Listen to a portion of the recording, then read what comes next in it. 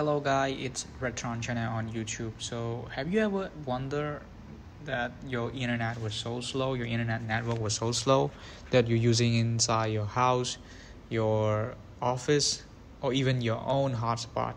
Probably someone connect to that and you cannot do anything about that. They've been using your Wi-Fi, they've been using your network, they're doing a lot of heavy stuff and it drag the speed of your internet. Well, there is now a solution for that. So in this video i'm going to give you a tutorial on how you could actually managing those who are using your network using your own macbook computer or a windows operating system. So in this video we are using the application called P2pover. So this P2pover is a window based app so this can only be installed inside a Windows operating system. But if you're having a Mac and you want to use this app as well, well, there is a solution to that. We are using it with a virtual operating system that we are installing. It's called VirtualBox and you can run Windows operating system inside your Mac. So this is already uh, stated in the previous video that I am talking about the way you could install window on your Mac OS. So if you haven't checked it, go back and check it out to see how you could run operating system of window inside your Mac OS. Okay, so now let's get into our part. So I am running MacBook right now. Uh, it's a Mac OS operating system and I have my virtual window installed and now I am also have this P2pover application installed inside the virtual window as well. So it's very simple.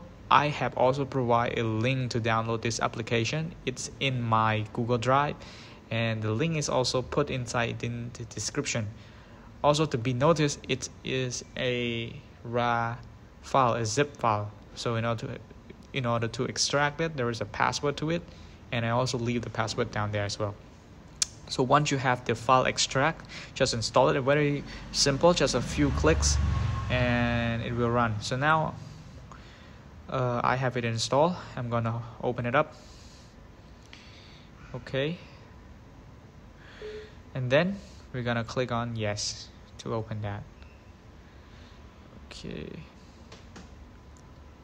So it will run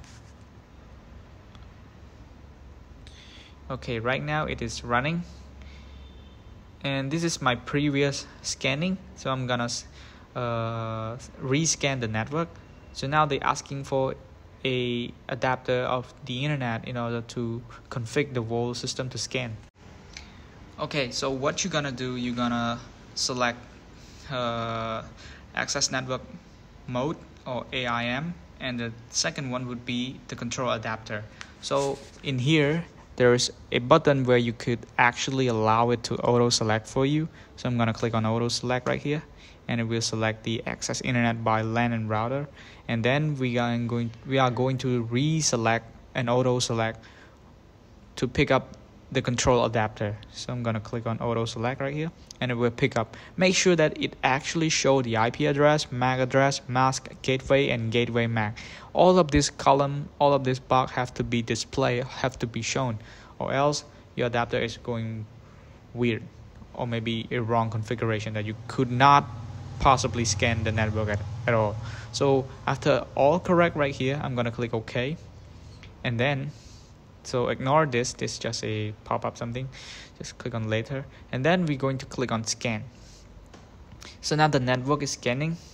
We're gonna see how many device actually stay inside our network right now.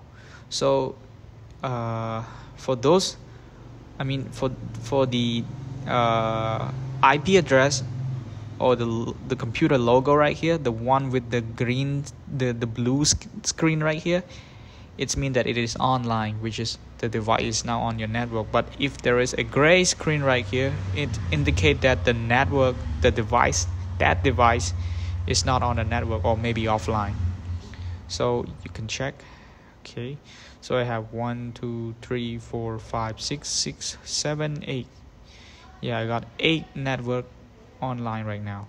So I can see whether what are they doing what are they actually uh, driving the traffic. I can simply just click on start. Yes.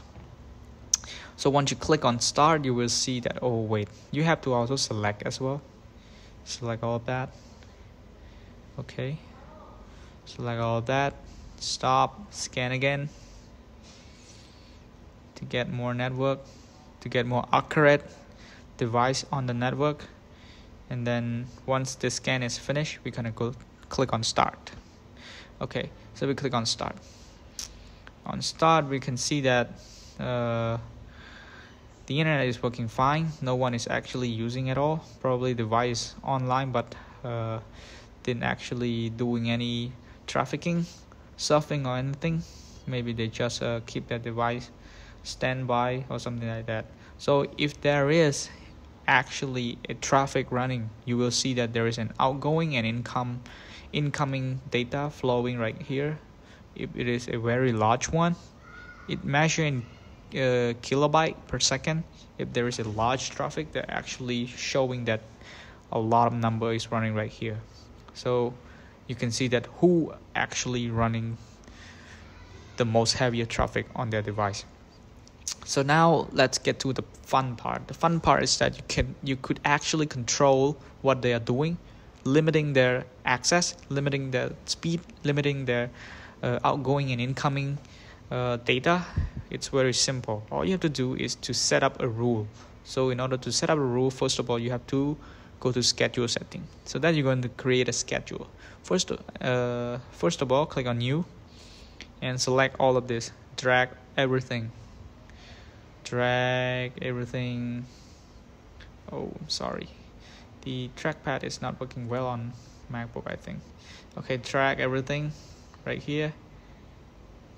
Why it's not it's not dragging okay let me uh, try to do it.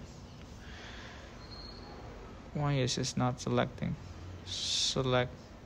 Okay select work I mean select all. Right click on that and select all. And then you're gonna name it to be for example block or working. Or no just name it all time like that. All time and then you're gonna click on ok okay so now you have a schedule all time which is actually uh, every time from monday to uh, sunday 24 7 like that okay. And then you're going to go to rule setting. Right here you're gonna create a new rule. Click on new and select the schedule. So we choose all time. The schedule that we just recreate just create and then click on next. And now here is the fun part. Input the bandwidth limit. So I'm gonna give them 10 the minimum is 10 so give it 10 10 kilobyte per second. Click on next and select all. Click on next. Select all next. And this is uh, you just you can just leave it blank. Ignore that. Click on next. Select on block. Right here. Block. Click on next. And finish. So now you have the rule. Okay. Uh, I think I forgot to rename it. So first of all you have you also have to rename. So you can edit it. I'm gonna click on that and edit edit and then give it a name. So all time block. Okay block.